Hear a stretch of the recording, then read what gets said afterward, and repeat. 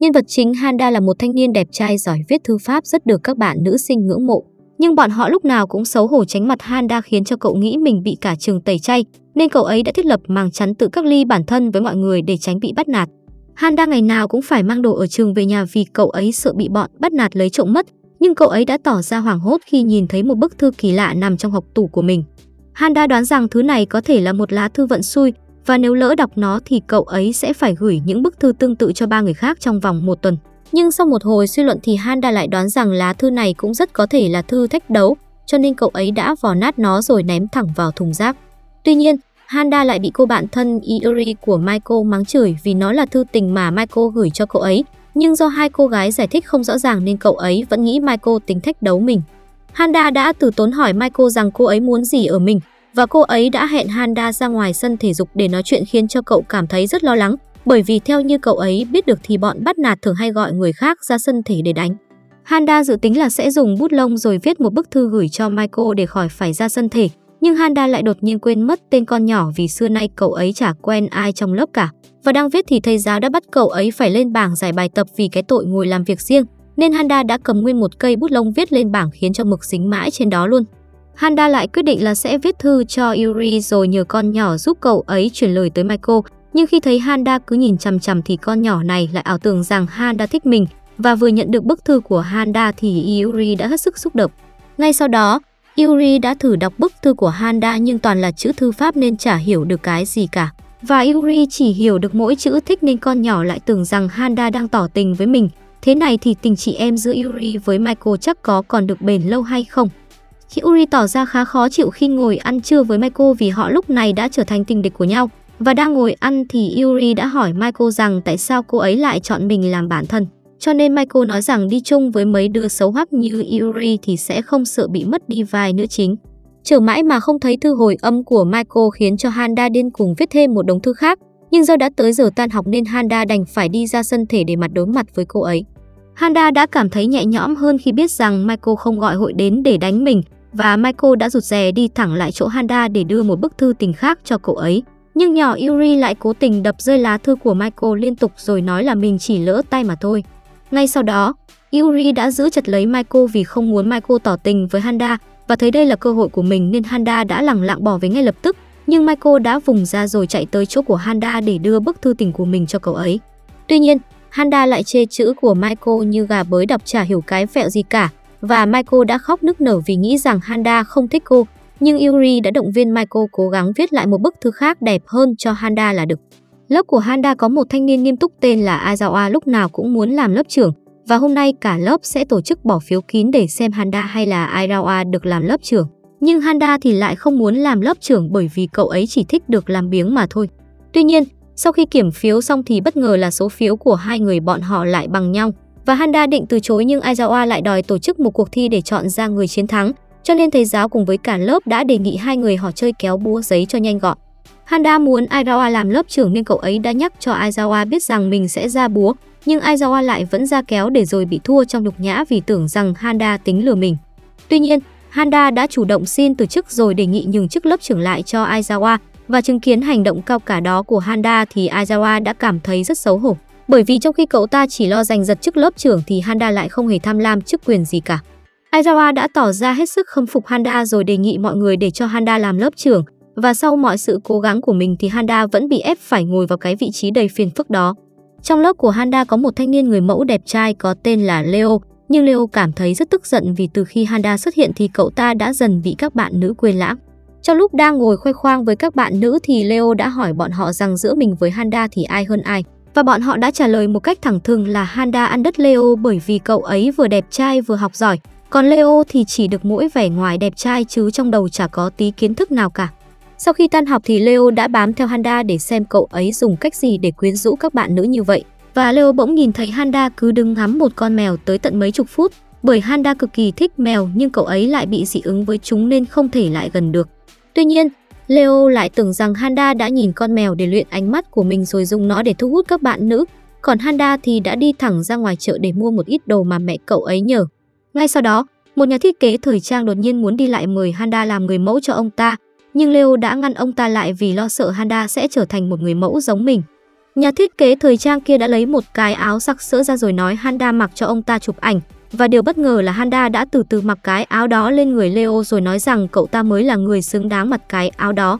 Sau khi chứng kiến hành động của Handa thì Leo đã bắt đầu tỏ ra không phục cậu ấy hơn, nhưng thực ra Handa tưởng Leo là vô gia cư nên mới đưa cái áo đó cho cậu ta mặc mà thôi. Aizawa đã nhờ Handa đưa tài liệu học tập tới nhà của một học sinh vắng mặt có tên là Sutsui. Và Sutsui đã bỏ học được một thời gian bởi vì cậu ta thường bị bắt nạt do khuôn mặt nữ tính của mình. Nhưng khi tới nhà Sutsui thì cậu ấy lại gặp phải một thằng côn đồ trông rất bạm trợn. Tuy nhiên, Handa đã cực kỳ kinh ngạc khi biết thằng côn đồ này chính là Sutsui, chẳng qua là vì cậu ta đã trở nên đô con hơn sau gần một năm bỏ học ở nhà để tập tạ mà thôi. Sutsui đã cầm gậy đánh Handa bởi cậu ta không muốn quay trở lại trường học nữa và Sutsui ra đòn nhanh quá khiến cho Handa không thể phản ứng kịp được. Nhưng Sutsui nhìn thấy Handa không hề chớp mắt rồi lại tưởng Handa là kẻ cực kỳ gan lì. Trước đây rút xôi lúc nào cũng bị đám con trai biệt lập chỉ vì khuôn mặt như con gái của cậu. Thậm chí mấy nữ sinh trong trường còn đánh rút xui vì nghĩ cậu ấy giật người yêu của bọn họ, cho nên rút xui đã trốn ở nhà rồi tập luyện cho tới khi được đô con như bây giờ. Không muốn nghe thằng này kể lể nên Handa đã đưa tập tài liệu ra trước mặt của Sutsui,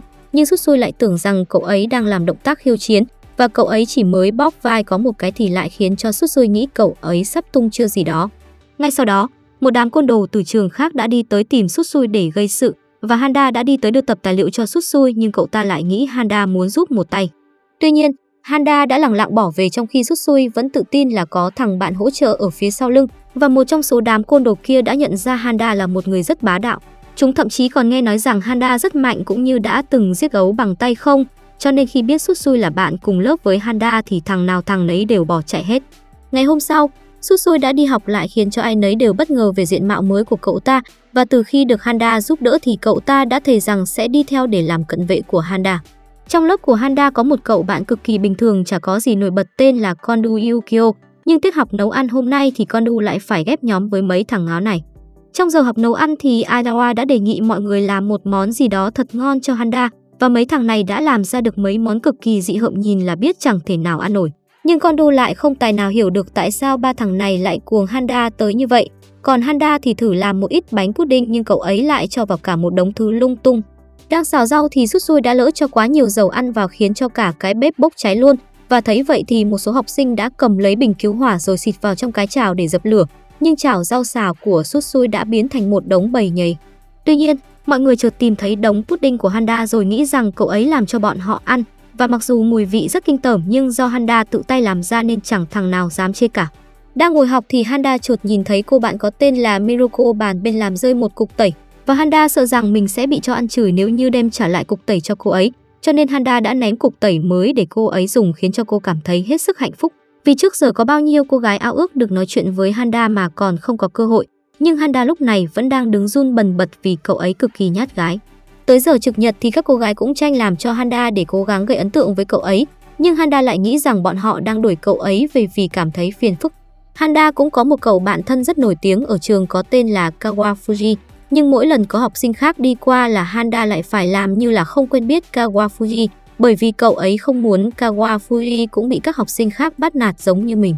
Tuy nhiên, việc Handa hiểu lầm rằng cậu ấy đang bị bắt nạt ở trường lại là do Kawafuji gây ra. Vì trong cái thời còn học cấp 2 thì Kawafuji đã từng thích thầm một chị gái lớp trên là Hoa Khôi, nhưng chị gái đó lại nhờ Kawafuji giúp cô ấy gửi một bức thư tình cho Handa. Cảm thấy ghen tị nên Kawafuji đã giả vờ nói rằng cả trường này ai ai cũng đều ghét Handa cả, và sau khi nghe được điều đó thì Handa đã bị sốc rồi sống cô lập với bạn bè tới bây giờ luôn. Kawafuji cũng đã định kể hết sự thật cho Handa biết rằng thực ra cậu ấy rất nổi tiếng chứ chẳng bị ai bắt nạt cả, nhưng cậu ta muốn để Handa như thế này thêm một thời gian nữa cho vui. Dạo này lớp của Handa đang đồn đại về việc cậu ấy đang viết thư pháp bán ở ngoài công viên. Nhưng Handa chưa từng đi ra công viên viết thư bao giờ, đồng thời chữ của cậu ấy không xấu như vậy. Và cái đám hay bám theo Handa cũng nhận ra rằng kẻ viết thư pháp đó là Handa giả. Vừa đi ra công viên thì cả bọn đã nhìn thấy gã giả mạo Handa nhưng lại có một cái mõm chuột và rút xui đã ngay lập tức lao tới đấm cho hắn ta một cái vì mặt hắn trông y như là quả dứa. Còn Leo thì tắt cho hắn ta cả chục phát vì cái tội dám mạo danh Handa đi viết thư pháp để bán.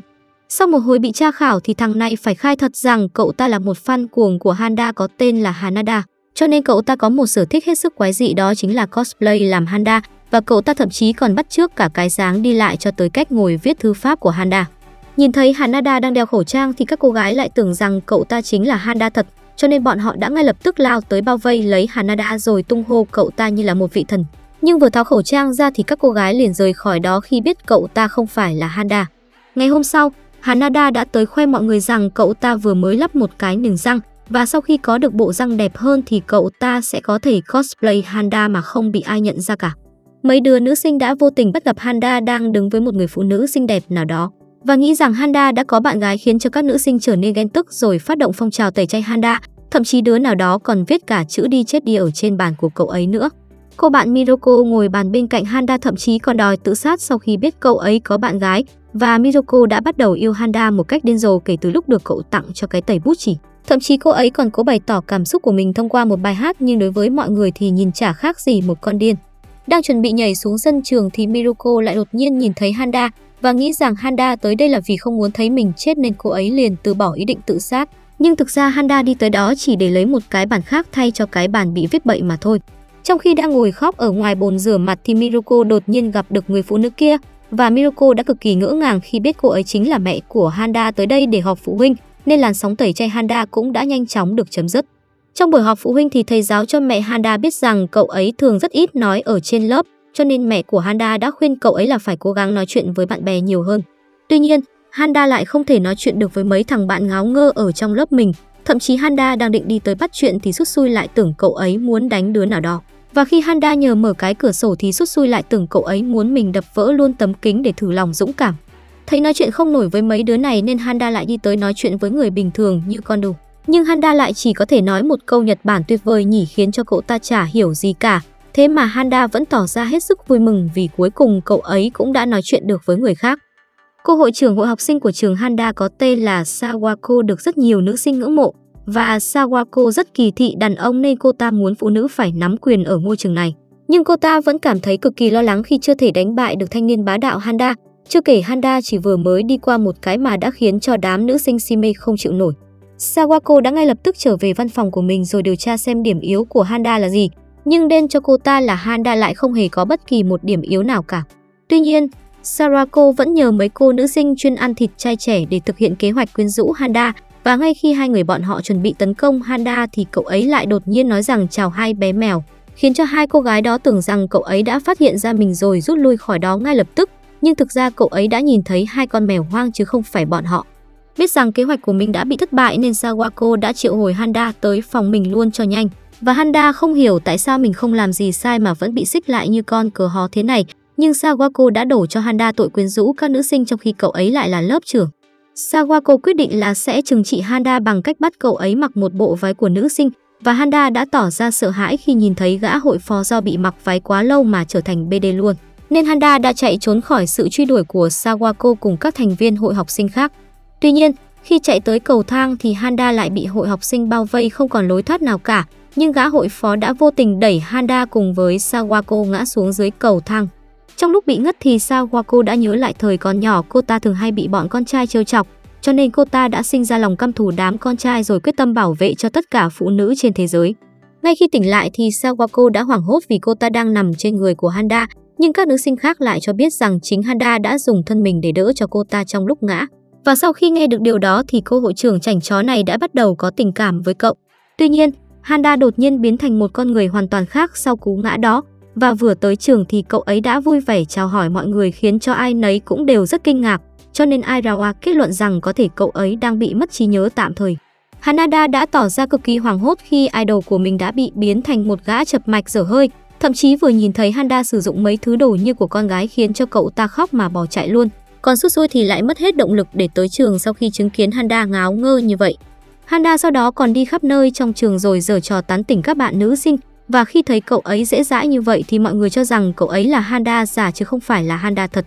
Bởi vì bọn họ cho rằng tình cảm của Handa không thể nào rẻ tiền như thế được, nhưng con nhỏ Miroko lại đòi được làm người yêu của Handa rồi đuổi theo cậu ấy như một con thần kinh.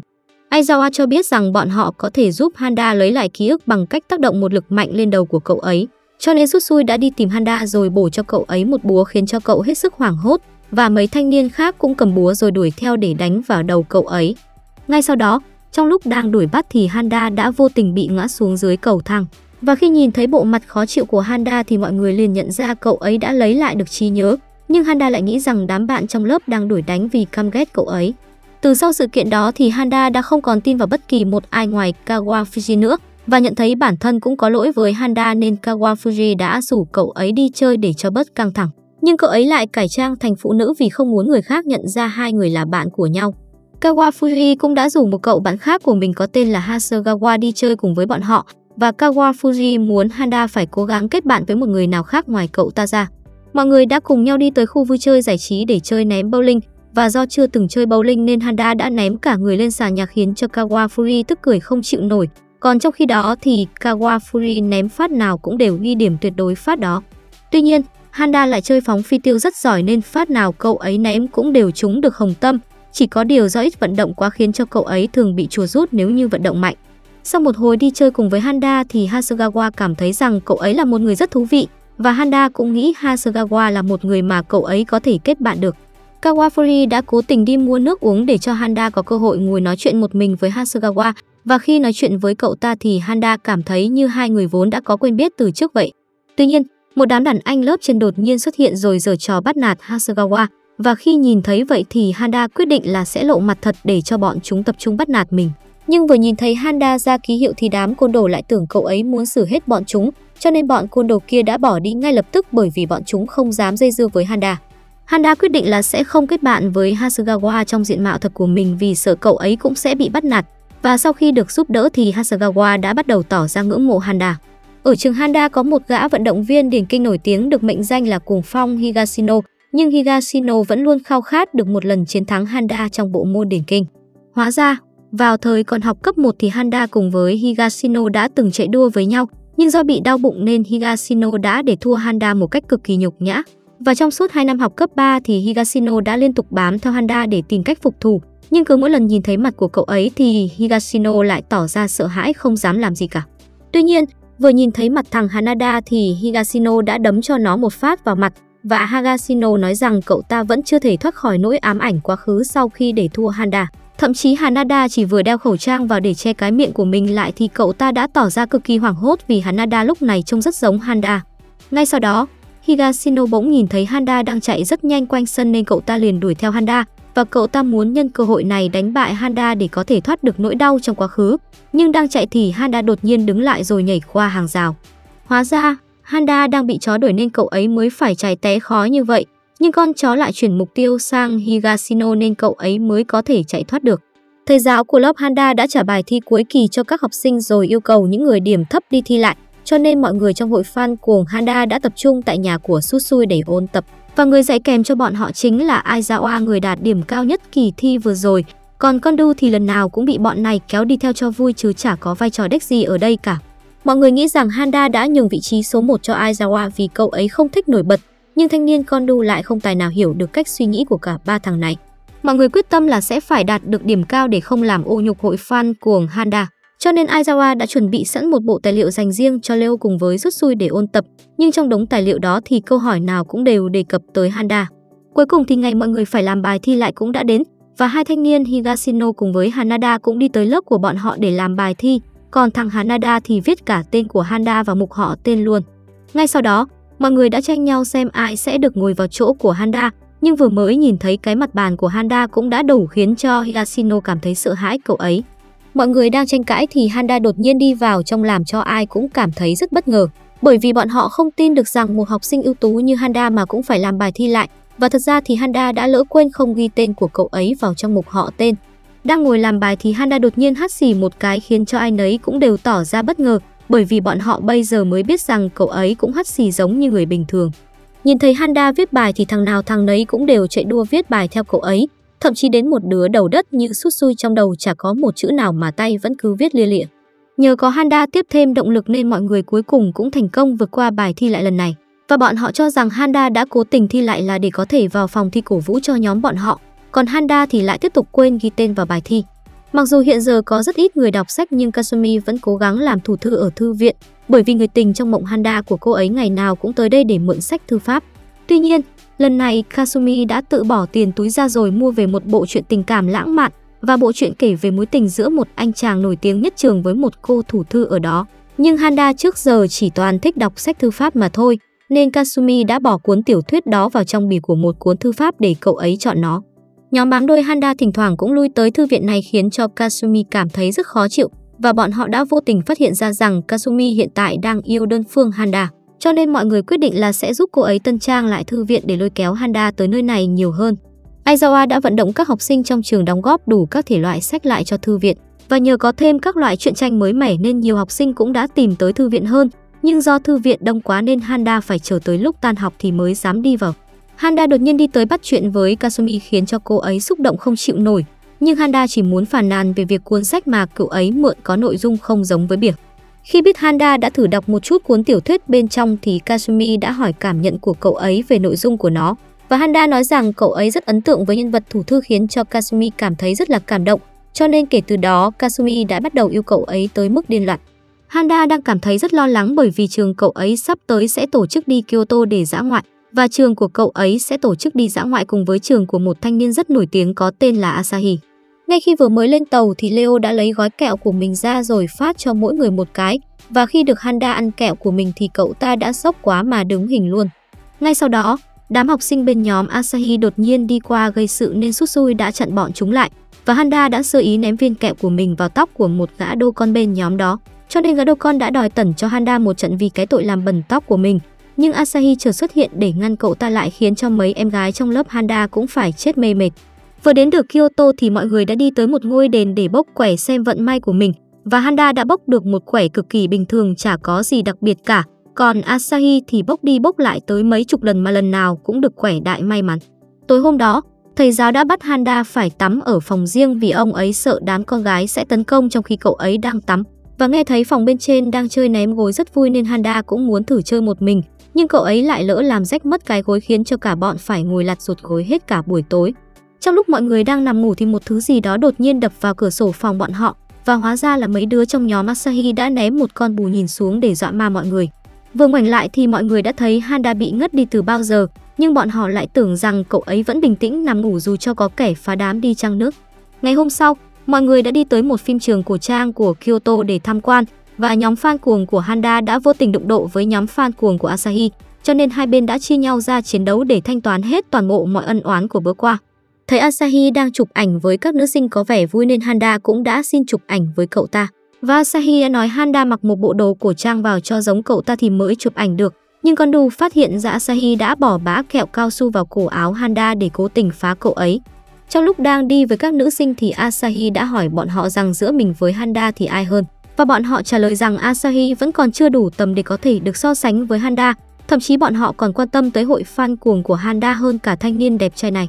Cảm thấy như mình là một kẻ thua cuộc nên Asahi đã đi tìm Handa để nói chuyện với cậu ấy. Nhưng Asahi lại đột nhiên đòi kết bạn với Handa làm cho cậu ấy có đôi chút ngạc nhiên. Tuy nhiên, Handa đã từ chối rồi nói rằng thực ra Asahi đã có rất nhiều người bạn bên cạnh mình rồi. Và sau khi nghe được điều đó thì Asahi đã nhận ra sai lầm của mình, bởi vì xưa nay cậu ta chỉ coi những người trong nhóm là fan của mình mà thôi. Asahi quyết định là sẽ đối xử tốt hơn đồng thời sẽ coi những người trong nhóm như là bạn bè của cậu ta. Và từ sau chuyện này thì Asahi đã có một cái nhìn hoàn toàn khác về con người của Handa, còn nhóm bạn của Asahi cũng đã nhanh chóng làm hòa với hội fan của Handa. Thầy giáo chủ nhiệm của lớp Handa muốn cho các học sinh mổ ích nhưng thầy hiệu trưởng lại không cho phép, bởi vì có rất nhiều phụ huynh đã nạp đơn không cho con em mình học mấy thứ kinh tởm đó, cho nên nhà trường cũng đã loại bỏ bài thực hành mổ ích khỏi môn sinh học. Tuy nhiên, thầy chủ nhiệm cho rằng nếu như không có bài mổ ích thì không thể gọi là môn sinh học được và thầy chủ nhiệm đã nhờ Handa thuyết phục các bạn trong lớp thực hành mổ ích nhưng nhìn vẻ mặt này là cũng đủ biết Handa cực kỳ ghét bộ môn mổ ếch. Aizawa cũng cảm thấy rằng thực hành mổ ếch rất cần thiết trong bộ môn sinh học, cho nên cậu ta quyết định là sẽ cùng Handa thuyết phục mọi người để thực hành mổ ếch. Aizawa cho mọi người biết rằng nếu như không mổ ếch thì bọn họ sẽ phải thực hành ép hoa và lo sợ rằng nếu như chọn ép hoa thì chắc chắn mọi người sẽ chê mình là một thằng ẻo lả, cho nên Handa đã nói lớn rằng cậu ấy sẽ chọn thực hành mổ ếch. Các nữ sinh không muốn mổ ếch bởi vì môn đó rất là kinh tởm, nhưng khi biết Handa chọn môn mổ ếch thì em nào cũng đều chọn giống với cậu ấy cả. Thầy giáo đã rất vui mừng vì cuối cùng thì nhà trường cũng đã cho ông ấy tổ chức lớp học mổ ếch. Và môn này được quay trở lại chương trình học chính là nhờ vào công sức của Handa, nên thầy giáo đã cho cậu ấy vinh dự được mổ một con ếch to như trâu khiến cậu cạn lời luôn.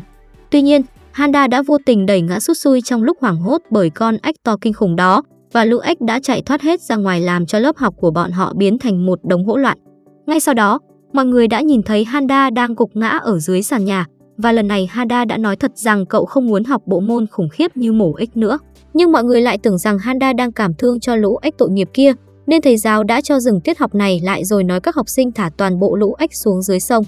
Aizawa đột nhiên nhìn thấy Handa bỏ chạy như bị ma đuổi ngay khi vừa bước ra khỏi trường. Cho nên hội fan cuồng Handa đã kết luận rằng có thể cậu ấy đang bị một kẻ nào đó bám đuôi, nhưng con đu biết rằng thực ra mấy thằng này mới chính là bọn hay bám đuôi cậu ấy. Mọi người quyết định là sẽ bí mật đi theo Handa để bảo vệ cậu ấy khỏi kẻ bám đuôi kia, và Aizawa cùng với con đu đã tỏ ra rất hoảng hốt khi nhìn thấy nhỏ Mizuko đang nấp trong bụi rậm, cho nên con đu nghi ngờ rằng cô ấy chính là người đang bám đuôi Handa. Tuy nhiên, Aizawa cho biết rằng thực ra Mizuko lúc này đang làm nhẫn giả để âm thầm bảo vệ cho Handa, và bất kỳ cô gái nào có ý đồ tiếp cận Handa đều sẽ bị cô ấy tóm gọn hết. Thậm chí em thủ thư Kasumi đang định tới cho Handa mượn sách cũng đã bị cô ấy bắt lại. Handa lúc này cũng đã phát hiện ra hội fan cuồng đang bám theo mình, cho nên cậu ấy đã chạy trốn thật nhanh vì không muốn mọi người biết nhà mình ở đâu cả. Và thanh niên Higashino đột nhiên từ đâu lao tới rồi đòi chạy đua với cậu ấy. Chiều hôm đó, mọi người đã tập trung lại một chỗ để bàn cách tìm ra kẻ đang theo đuôi Handa. Và Handa đang cố trèo qua một bức tường để tìm tới quán cà phê mà cậu ấy đã hẹn với Kawafuji. Nhưng vừa trèo qua tường thì cậu ấy lại vô tình đụng mặt với nhóm fan cuồng của mình. Nhìn thấy Handa xuất hiện thế này khiến cho mọi người cảm thấy cậu ấy trông giống như một vị thần, nhưng cậu ấy lại tưởng mọi người bám theo là để bắt nạt mình nên cậu đã mắng chửi rồi đuổi bọn họ đi chỗ khác. Tuy nhiên, đám fan cuồng này lại tưởng rằng Handa đang mắng chửi kẻ bám đôi bí ẩn kia, chỉ có mỗi con đu là nhận ra cậu ấy đang mắng chửi cái lỗ phiền phức này, và sau khi thoát khỏi rắc rối thì Handa cuối cùng cũng tới được quán cà phê với Kawa Fuji. Vốn là một học sinh từ chơi thể thao cho tới điểm số thì cái nào cũng đều bình thường hết, nhưng dạo gần đây cậu ấy lại thấy mọi người trong trường đang bàn tán điều gì đó về mình. Vừa mới bước chân vào lớp thì con đu đột nhiên nhìn thấy một bức thư tình ở trên bàn cậu ấy, khiến cho con đu cảm thấy hết sức bối rối vì xưa nay cậu ấy chưa từng nói chuyện với gái bao giờ cả, cho nên con đu đã cầm bức thư đó đến hỏi ý kiến của các thành viên trong hội Handa. Tuy nhiên, Susu cho rằng nó không phải là thư tình mà chỉ là một cái bẫy để dụ con đu ra ngoài. Bởi vì trước khi tập tạ thì Susu cũng đã từng nhận được một là thư tương tự như vậy, và khi đi ra điểm hẹn thì Susu đã bị bọn bắt nạt úp sợt rồi quất cho sấp mặt. Aizawa cùng với Leo thì lại cho rằng một người bình thường như Kondu thì chắc không có ai bắt nạt cả. Nhưng Kondu đột nhiên nhận ra dạo này mọi người trong trường có vẻ đã để ý tới cậu ấy hơn và cậu ấy cho rằng sau khi gia nhập vào hội Handa thì cậu cũng đã trở thành tâm điểm của mọi người. Tuy nhiên, các cô gái đã viết thư hẹn Kondu ra sân sau là để yêu cầu cậu ấy phải rời khỏi hội Handa. Vì một kẻ bình thường không nổi bật như cậu ấy không thể làm thành viên của hội được. Và sau khi nghe được điều đó thì Kondu đã buồn bã chạy thẳng ra ngoài bờ sông để thư giãn. Trong lúc đang đi thì con đu đã vô tình đụng trúng người của Handa và Handa đang đi hái hoa về làm bài thực hành ép hoa nhưng cậu ấy đã giấu đi vì ngượng. Con đu nhận ra rằng Handa là một người tốt mặc dù cậu ấy lúc nào cũng tỏ ra lạnh lùng, cho nên con đu quyết định là cậu sẽ không rời khỏi hội Handa như mấy nữ sinh kia yêu cầu. Trong trường của Handa có một câu lạc bộ chuyên vẽ manga gái sinh, nhưng câu lạc bộ này sắp tới sẽ phải đóng cửa vì không có đóng góp gì cho nhà trường cả, bởi vì đống manga mà bọn họ vẽ ra cũng chả có ai thèm đọc hết. Tuy nhiên, Aizawa khuyên rằng nếu bọn họ vẽ manga về Handa thì chắc chắn sẽ có rất nhiều người đọc. Nhưng hội manga này xưa giờ chỉ toàn vẽ nhân vật nữ chính chứ chưa vẽ nam chính bao giờ, cho nên bọn họ quyết định là sẽ vẽ Handa thành một nhân vật nữ. Để có thể vẽ được một bộ manga chân thật nhất thì gã hội trưởng đã bám theo để quan sát Handa và sau một cuộc tranh cãi tới mức đấm nhau sứt đầu mẻ chán thì mấy thằng này quyết định là sẽ vẽ chuyện harem kết hợp với Aichi. Ngay sau đó, ba thanh niên trong hội manga đã chạy đi xin ý kiến của Handa để được phép vẽ chuyện về cậu ấy. Nhưng trong lúc bọn họ đi ra ngoài thì Handa đã tới phòng của bọn họ để mang giấy vụn đi đổ, và bọn họ đã tỏ ra hết sức hoảng hốt khi cậu ấy đã lỡ né mất bản thảo chuyện Handa của mình. Hội manga đã cố gắng đuổi theo xe chở rác để lấy bản thảo nhưng không kịp, và khi nhận ra mình đã vất bản thảo của bọn họ thì Handa đã chạy như gió để đuổi theo xe chở rác. May mắn là Handa đã đuổi kịp xe chở rác rồi gọi nó lại để cho nhóm manga tìm bản thảo của bọn họ. Nhưng Handa đã tỏ ra rất sốc khi nhìn thấy bọn họ vẽ chuyện Echi có cậu ấy là nhân vật chính. Trường của Handa sắp tới sẽ tổ chức lễ hội văn hóa và hội trưởng hội học sinh Sawako quyết định là sẽ đặt tên cho lễ hội năm nay là lễ hội Handa, nhưng mọi người ai ai cũng biết rằng cô ấy hiện đang bị Handa hấp hồn. Ngay sau đó, Aizawa đã tổng hợp ý kiến của cả lớp lại để xem bọn họ sẽ làm gì trong lễ hội văn hóa lần này và Leo đã đề xuất là mở một quán cà phê hầu gái, còn các bạn nữ thì lại muốn diễn vở kịch Romeo và Juliet. Thầy không thể chọn được nên cả lớp đã nói lớp trưởng Handa đưa ra quyết định cuối cùng và mặc dù rất muốn chọn viết thư pháp nhưng Handa lại sợ bị cả lớp phàn nàn, còn diễn kịch với cà phê hầu gái thì cậu ấy lại chả thấy hứng thú một chút nào cả. Nghĩ mãi không ra nên Handa đã chạy thẳng ra bên ngoài để suy nghĩ nhưng Airawa lại tưởng cậu ấy đang muốn tạo cơ hội cho mọi người tự quyết định. Trong lúc đang ngồi ngoài cầu thang thì Handa đã vô tình gặp được Sawako cùng với mái tóc kỳ quái của cô ấy. Và Sawako đã đề nghị Handa giúp mình viết một tấm biển cho lễ hội văn hóa, nên Handa đã nhanh chóng đồng ý khiến cho cô ấy tỏ ra cực kỳ vui sướng. Vừa quay trở về lớp học thì Handa lại không nhìn thấy một ai nữa, và Aizawa cho biết cả lớp đã quyết định chọn làm quán cà phê kết hợp với diễn Romeo và Juliet, nhưng chả ai biết viết thư pháp như Handa cả nên lựa chọn viết thư pháp đã bị loại bỏ. Trên đường đi học về thì Handa đột nhiên bắt gặp đám côn đồ của một gã tên là Dại đang bắt nạt một thanh niên. Và may mắn là Sút Xui cũng đã vô tình đi ngang qua nơi này. Handa đã ra hiệu cho Sút Xui lao và giải cứu cho thanh niên kia, nhưng thấy Handa cứ lắc lắc cổ khiến cho Sút Xui nghĩ rằng cậu ấy đang bị bệnh xương khớp, cho nên cậu ấy đã phải nói thẳng ra để cho thanh niên Sút Xui lao vào tần cho bọn kia một trận. Các nữ sinh đã lấy số đo ba vòng của Handa để may trang phục diễn kịch cho cậu ấy và bọn họ đã tỏ ra cực kỳ vui mừng vì chẳng mấy khi có cơ hội được lấy số đo của cậu ấy cả. Còn trong khi mọi người đang tất bật chuẩn bị cho lễ hội thì cậu lại bị bắt ngồi yên một chỗ để nhìn, thậm chí cứ tới giờ ăn là em gái Miracle lại cúng cho cậu ấy một cái bánh ngọt cùng với nước. Thấy Handa ngủ quên nên mọi người đã không nỡ đánh thức cậu ấy dậy mà để cho cậu ngủ tới tận tối luôn. Và do đi về muộn nên băng của Giai đã vô tình bắt gặp cậu ấy đang ngắm mèo, nhưng trước khi chúng kịp tấn công cậu ấy thì hội fan cuồng đã lao ra tẩn cho chúng một trận. Aizawa quyết định rằng Sutsui sẽ đóng vai Juliet còn Leo thì sẽ đóng vai Romeo, cho nên Sutsui đã phản đối bởi vì một đứa đồ con như cậu ta sẽ không thể đóng vai nữ chính được. Nhưng Aizawa lại bắt cậu ta phải nhanh chóng giảm cân để trở về với ngoại hình nữ tính trước đây của mình. Cuối cùng thì ngày diễn ra lễ hội văn hóa của trường Handa cũng đã đến và lớp của Kawafuji cùng với Hasegawa đã mở một quầy viết chữ thư pháp dành cho tất cả mọi người. Hai người bọn họ cũng đã thử đi tới quán cà phê Romeo và Juliet của lớp Handa để uống nước và trong lúc ngồi uống nước thì khán giả sẽ được xem kịch do mọi người trong lớp diễn xuất. Theo như ý tưởng ban đầu thì Sút Xui sẽ giảm cân để đóng một Juliet xinh đẹp như thế này, nhưng do giảm cân bất thành nên nó lại trở thành một con quái vật như thế này và Juliet chỉ mới ôm có một cái mà đã khiến cho Romeo phải sùi bọt mép vì không thở được. Cảm nhận của Kawa Fuji sau khi tới đây chính là vở kịch cùng với nước uống đều dở như hạch và cậu ta đã tắt điện luôn ngay khi nhìn thấy Handa được vào vai nữ hoàng Elizabeth, nhưng không hiểu sao mọi người ai ai cũng đều chắp tay vái lạy cậu ấy như là một vị thần. Hội vẽ manga cũng đã cho ra lọ hơn hàng ngàn cuốn truyện tranh về Handa phiên bản nữ và Giai cùng với nhóm của hắn cũng đã tới lễ hội này rồi mua một cuốn vì thấy nó khá là thú vị. Hội chơi bóng rổ nhưng không thích bóng rổ đã đi tới cầu cứu hội Handa trong khi đa bị thương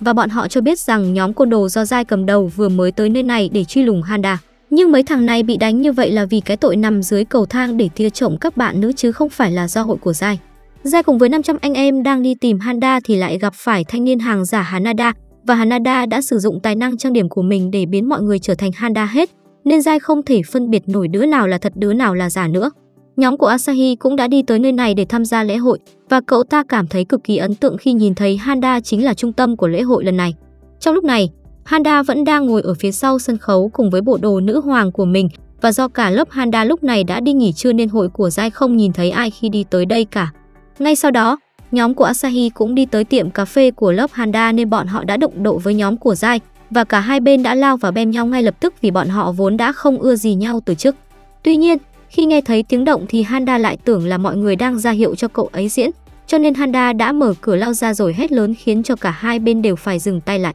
Nghĩ rằng Handa đang tức giận vì có kẻ làm loạn trong lễ hội nên Asahi đã cảm thấy cực kỳ xấu hổ và hóa ra hội của Giai tới đây là để đàm phán với Handa vì từ khi cậu ấy nổi lên thì hội bọn họ đã mất gần hết địa bàn. Cho nên mọi người quyết định là sẽ đình chiến để không làm ảnh hưởng tới trường của cậu ấy. Nhưng vừa nhìn ra sau thì bọn họ lại bất ngờ thấy Giai đã bị Miroko đánh gục từ lúc nào không hay. Chiều hôm đó, toàn bộ học sinh đã tập trung về giữa sân trường để nhận giải thưởng từ hội học sinh và phần thưởng dành cho lớp đạt được giải nhất chính là một cái mũ samurai. Giải đầu tiên chính là giải câu lạc bộ xuất sắc nhất được dành cho hội vẽ manga bởi vì bọn họ đã thành công bán được hơn 5.000 cuốn manga với nhân vật chính là Handa nữ, nhưng bọn họ chỉ nhận được có mỗi cái vương miện làm từ bìa cát tông mà thôi. Ngay sau đó, cô hội trưởng Sawako đã thông báo rằng lớp đoạt giải xuất sắc nhất trong lễ hội chính là lớp của Handa. Và vốn là lớp trưởng nên Handa sẽ phải lên trên sân khấu để nhận phần thưởng thay cho cả lớp. Nhưng Handa lại nghĩ mọi người ghét cậu ấy nên mới bắt cậu đi lên sân khấu để làm trò cười. Sawako đang chuẩn bị trao cái mũ giáp cho Handa thì Kawafuji lại đột nhiên bước lên nói rằng cậu ta là bạn của Handa. Nhưng mọi người lại không tin rằng một thằng như Kawafuji lại có thể làm bạn với Handa được và Handa đã tỏ ra cực kỳ lo lắng vì sợ thằng bạn cũng sẽ bị bắt nạt giống như mình.